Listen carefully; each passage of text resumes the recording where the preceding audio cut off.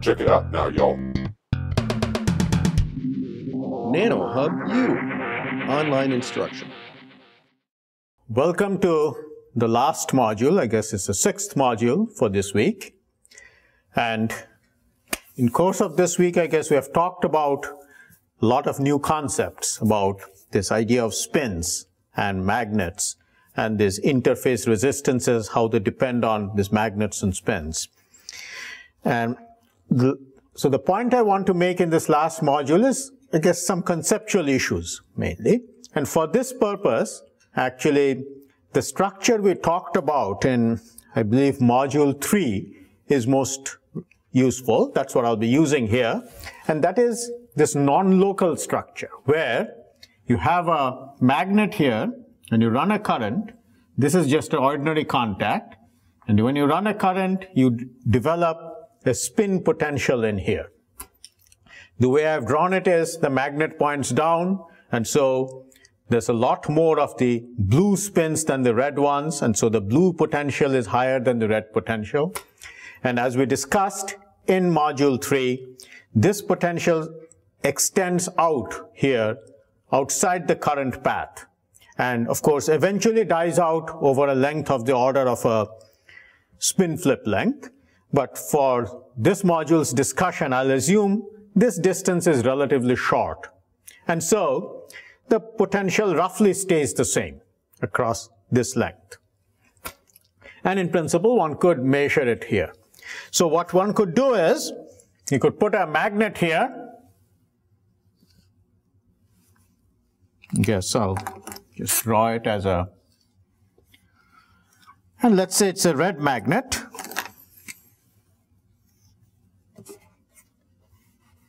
Which means one that points upwards. And as we discussed in module 3, I believe, the potential you would measure, you know, when you look at this potential of this magnet that it floats to, the potential you'd measure would be like the polarization of the magnet times the spin potential.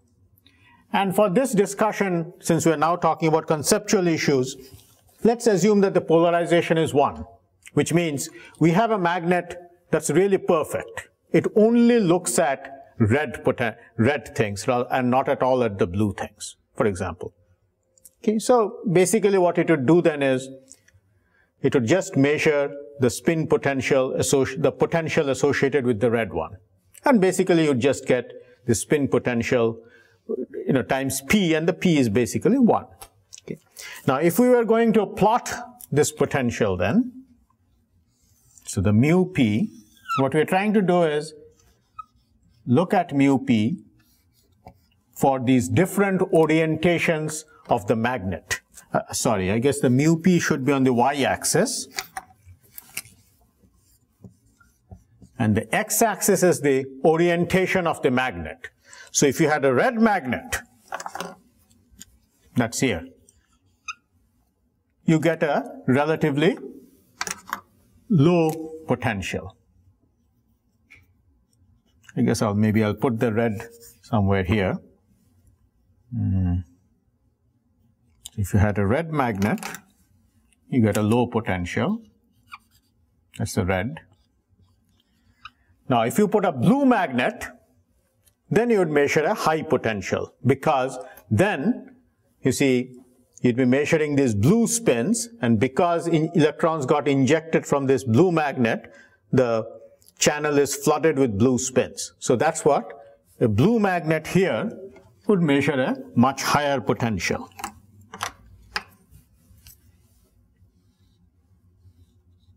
So it would then measure this higher potential. Okay, so that looks simple. So the blues, blue magnet. So this is orientation of the measuring magnet. Orientation of measuring magnet. And the injecting magnet stays the same. Nothing has changed there. That's this axis. Okay. So the blue magnet measures something relatively high up here. And the red magnet measures something here. And this we have discussed before. And you see, as long as we are talking of just blues and reds, there's not very much to add to that.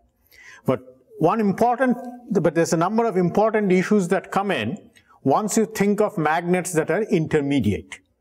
After all, that magnet that I'm using to measure all this need not be just blue or red. It could be pointing sideways, for example.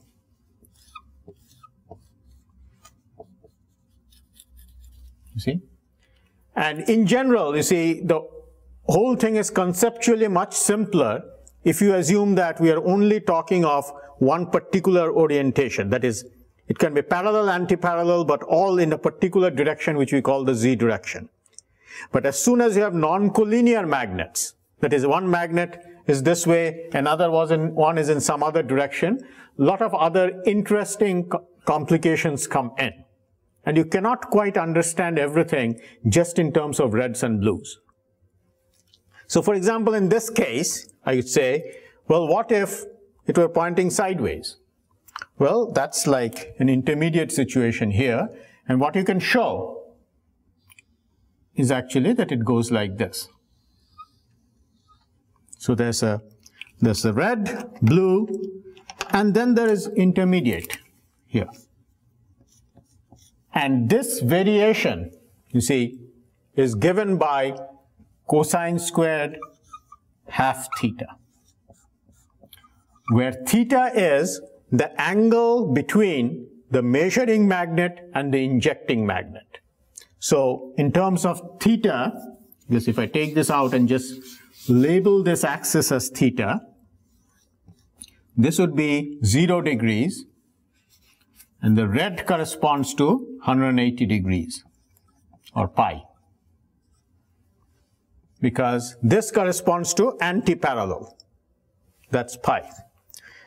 Now, the nearest analogy to this is the polarization of light. You see, one of the things you may have learned in freshman physics is that light or photons are associated with a certain polarization. So if you have light going in a certain direction, the electric field can be, is in the transverse plane. And if it could be, say, let's say light is propagating along x, then it could be in the y direction or in the z direction, for example. So there's the two polarizations of light. And what you could do is have a polarizer that lets light in in a certain direction and have an analyzer in another direction. And if the polarizer and the analyzer happen to be parallel, lots of light will get through. If they happen to be 90 degrees, then very little will get through. But the point is that with photons, how much gets through this combination is given by cosine squared theta. That is, 0 degrees, lots of it gets through, 90 degrees, nothing gets through because cosine 90 is 0. On the other hand, when it comes to electrons, it's like cosine square half theta. You see? If there's in the same direction, lot of it gets through. You get a maximum. If they're 180 degrees, very little gets through. If they're 90 degrees, uh, there's still quite a bit getting through, you see? Because 90 means you're talking cosine square 45 you know, that's still half.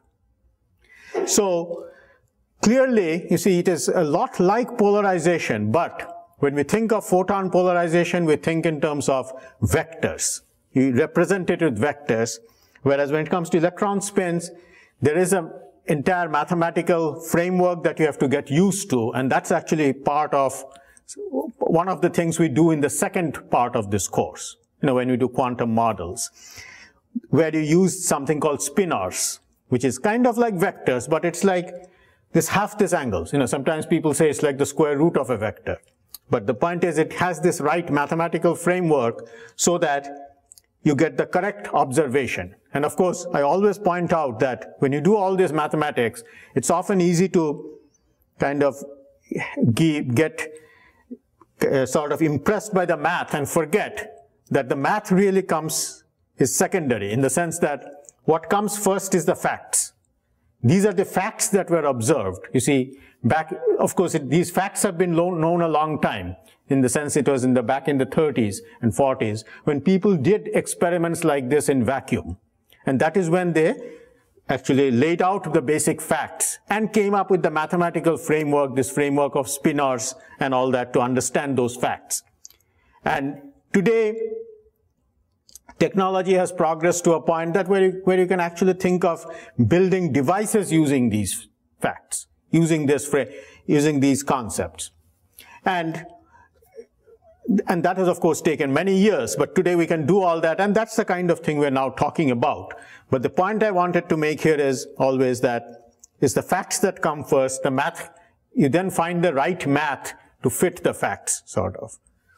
So when you ask, how do we know electron has two spins? The answer is again not a long mathematical story, but because Stern and Gerlach's experiment showed two spots, the one that I referred to in the last module or I think it was a module before that. Now, getting back to this then, there is this interesting difference with photons, because of which you have to learn a whole new mathematical framework. You know, vectors won't quite do. You have to use the spinors. Okay. Now, the next point I wanted to make here is that this kind of a curve you could observe by rotating that magnet.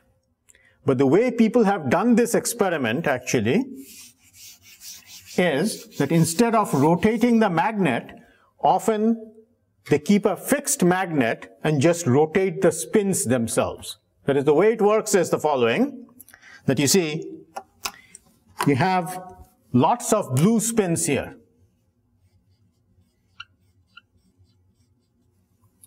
And they come along and if your magnet happens to be in this direction, or maybe we'll say, draw it in the, let's say the magnet happens to be in the blue direction, then you'd say, well, lots of current would get through because cosine square half theta, and theta is zero.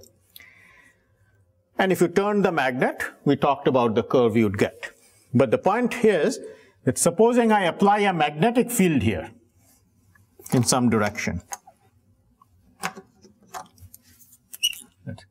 Now, one of the things that's known is that when you apply a magnetic field in a particular direction and you have a magnet that is pointing in some, some other direction, it wants to go around that magnetic field. Now, this is something that is mathematically described by this LLG equation, the Landau-Lifshitz-Gilbert equation that I briefly alluded to in the last module. And we have a homework problem that talks a little more about it, but that's not so important. This is, the basic fact is that a magnetic, if when you have a magnetic field, spins will want to precess around it. So if you had a magnetic field in this direction, it would go around, round and round this way. If you had a magnetic field, say, in this direction, then it would kind of rotate in the plane of this whiteboard. So it would kind of turn like this, if you had a magnetic field like so. So what that means is if you put a magnetic field like this, this thing will turn, and depending on how big the magnetic field is, by the time it gets here, it could well be pointing upwards. And in that case, of course, instead of getting a maxima in your current, you would actually get a minima. And this is exactly the kind of experiments that people have done. You see, this axis, I said, was the angle between the two magnets. But one way the experiment people do is they keep the magnets fixed but apply a magnetic field so that you rotate the electron, rotate the electron itself, you see. So the electron came in looking blue, by the time it gets out, it's actually looking red. And then you get curves like this, actually. And this is called the Hanle effect, which has been observed again in many, many materials. In fact, it's not just with magnetic fields, but people have done these experiments with electric fields also because there is an entire class of materials called where there is a very strong spin orbit coupling, which is actually a relativistic effect in the sense that it, it is a situation where an electric field looks like a magnetic field to the electron and makes it turn. So there are materials where, you see, you could actually just put an electric field here with a gate, almost like a field effect transistor. You could put an electric field here, but the electron would feel some effective magnetic field which would make it turn. And even that, there, there is now a couple of experiments which show just this effect, namely an electric field that turns the, turns the electron, and then you get curves like this. In fact, that's the kind of structure that often people refer to as spin transistors. Though I should qualify it by saying that it really should be called a transistor only in the sense that one voltage can control another, but not really in the sense, in a useful sense, because to be useful, you almost, you need to have things that will be able to amplify signals, and there are a whole host of other issues involved. And what has been demonstrated so far is very far from that. And one of the things we have been looking at, we have been talking a lot more about is whether part of the problem is that whenever people talk about spin transistors, the assumption is that the signal is electrical. In other words, it's a voltage or a current that's a real signal, and the spin is some internal thing. On the other hand, if you really want to use spins, it is much more, makes more sense to have the signals be actually stored in the magnets themselves. So it is not whether a voltage is high or low, but more like whether a magnet is one way or the other, as in, as in memory devices. But that's all kind of a different subject, and we'll have to see where all that goes. That's all work in progress. The, it is hard to predict where spins and magnets will go in terms of logic devices. What is pretty clear is, in terms of memory devices, of course, they are being used. They are being used for read, reading information, probably also for writing information. All that is happening right now, actually. Whether it will get used for logic devices, that's a whole different story. So let me kind of finish up this week, like pointing out one last thing, and that was that, you see, I kind of say that an electron is like a little magnet, but the part that gets a little confusing here is the following, that, you see, if let's say you have electrons coming in, say the blue electrons, and you say, well, yes, if I have a magnet that's also blue, then these little magnets can get out there, can flow out into it, because there's lots of states for these little magnets to get out. And on the other hand, if it's red, then they cannot get out. Okay, kind of makes sense. But then what if this magnet is actually halfway?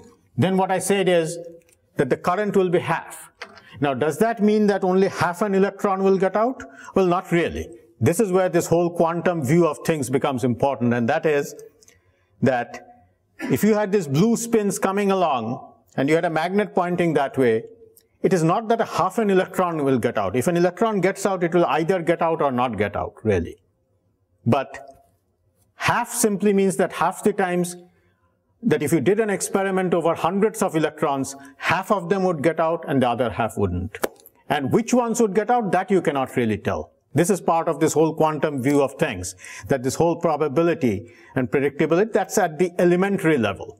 That for an individual electron, you cannot quite tell if it will get out or not. So just to make this a little more precise, I could say the following, that if you think of an electron as a magnet, then you might say that, well, it, it can point in any direction. It could point upwards, it could point downwards, it could point sideways, so the question you could ask is, when an electron goes from one point to another, how much information can we send? You see, because if something could be only up or down, that's like what you call one bit of information. You know, it's zero or one. Now here it looks like you can spend, send a lot of information because you could say, well, I'll just uh, have it point in all kinds of directions. Maybe, maybe intermediate directions like this. So I could have an electron, which if it is pointing this way represents some information. If it's representing this way represents some information. in this way some other information. So it looks like it's not just 0 and 1, but 1, 2, 3, 4, 5, 6, 7, 8. 8 possibilities if I just divide it up this way. But not really. The thing is, if you had just one electron, when you try to measure it in any direction, you'd only get this 0 or 1. The thing is, when I'm measuring it, I have to make a choice. That is, I put a magnet, which is, let's say, in this direction, then you see, if it gets out, I say it's red. If it doesn't get out, I say it's blue. That's it. On the other hand, if I put a magnet in this direction and it happened to be red, then I guess there would be some probability it would get out, some probability it wouldn't. But you see, the point is that with one electron, once I make the measurement, there's only a finite amount of information I can get out of it.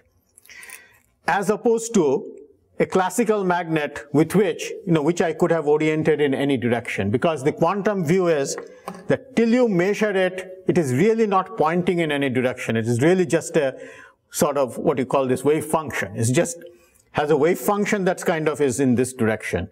But in order to know which way, it's, uh, which way it is pointing, you'd have to actually make the measurement. Now, why is it we are not worrying about that all, all that much? Well, because most of the time we are talking about steady state current flow, which means what we have been talking about is supposing I put a magnet here, how much current do I get there? And that, of course, is averaged over hundreds of electrons. So when you say that around here we have a certain number of electrons and you have a certain spin pointing in some direction, that is like averaged over millions of electrons. But of course, if you had a particular electron, then it is, uh, then it is like you should think of it more as a wave function, as this probability amplitude. And once you measure it, you can only choose to measure it in a particular direction. And depending on what direction you choose, you'll extract a certain amount of information from it. And so this is kind of this essence of what are called qubits. And this is this, this quantum, as opposed to what are called classical bits. Classical bits are like 0 and 1. Qubits are like almost continuous, looks like it's analog. But then once you measure it, that's when it kind of becomes a classical piece of information. Now all of this is of course, a, again, a vast subject on its own, and we can do justice to it here. What I wanted to give you was a, just this feeling that about how spins and magnets, you know, there are it is really a very interesting topic that, you know, bridges between the quantum and the classical, that an individual spin is a quantum object. But then when lots of them line up in the same direction, what we have is a very classical object like a magnet, you know, things that we put on our refrigerator and which are, you know, very real things. You can measure it, you can feel it. And, and how this quantum, and as we go through these nanomagnets, you can kind of see how these quantum objects gradually become classical. And what is really impressive is that in the last 20 years, there's been a lot of progress in our understanding of how these two kinds of things interact, how magnets can be used to inject spins, and how spins in turn can be used to turn magnets.